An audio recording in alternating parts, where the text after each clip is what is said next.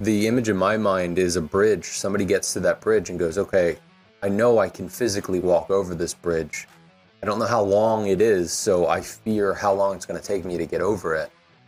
But they'll just stop and sit there, or they'll just become a troll and live under the damn bridge instead of asking somebody, Can you help me get across it? So, how did you get to that point where you were like, I'm standing at this bridge and I need help to cross it? Um, I knew my mom dealt with it um, panic attacks and anxiety. Um, didn't want to be like my mom.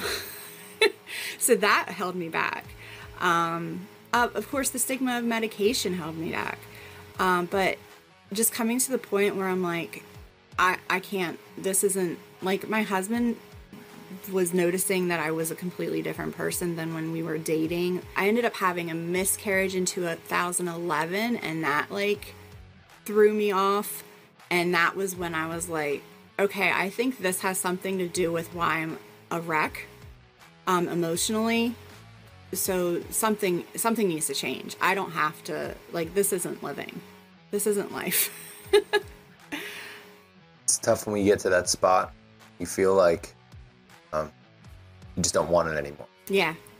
That's sometimes what it takes for people to get to. And I really wish for the people that listen to this podcast that they can hear our words and our stories and go, okay, I don't have to go down that path. I can learn that. However, you're probably still going to fuck up.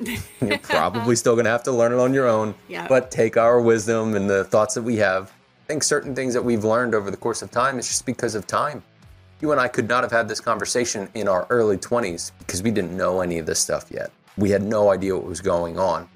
Um, but being able to share in the experiences and the wisdom a lot of people I'm sure we can get into just, you know, I had a rough time and then I came out of it and here we are and great and everything's happy. Be able to talk about the tough shit. That's what this is about. Yeah. And I I don't know I don't know if I'd still be married if I didn't get help. I don't know what my kids would be like.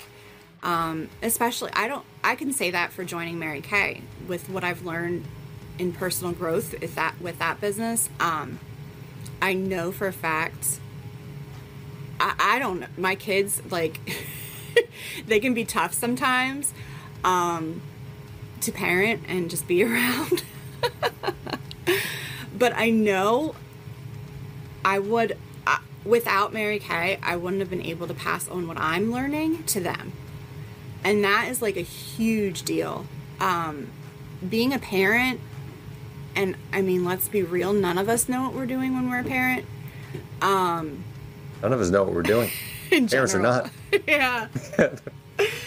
but when it, when you when there's two other souls involved, it's quite the responsibility, and I'm just super thankful that I have my mentor Danielle and and other girls around me that have either gone ahead or have taught me how to how to create a better mindset so I can pass that on to my kids because my youngest is more like me and like super I'm working on it. I'm better, but super negative, super down on himself. And so if I didn't have the mindset training or the the systems I have, um, I wouldn't I wouldn't be able to help him through that and help him learn things. Um, one of one of my favorite things to say to him is, "If you say you can't, you're right." And he's said it back to me before. So having that, the kids will give you accountability for sure. But just being able to teach him the things that I've struggled with at he'll be 10 in February. So at 10 years old, I mean, man, if we knew the stuff we know now at 10 years old.